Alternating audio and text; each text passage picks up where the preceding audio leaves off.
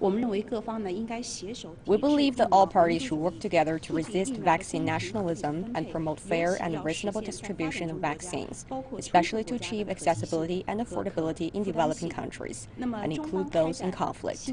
China's efforts in international cooperation in vaccines aims to make the vaccines truly a global public good. China says it's donated vaccines to more than 50 countries, selling shots to more than 20 others. Beijing has also promised 10 million vaccine doses by the end of this year to COVAX. That's a global initiative led by the World Health Organization to ensure equitable access to vaccines.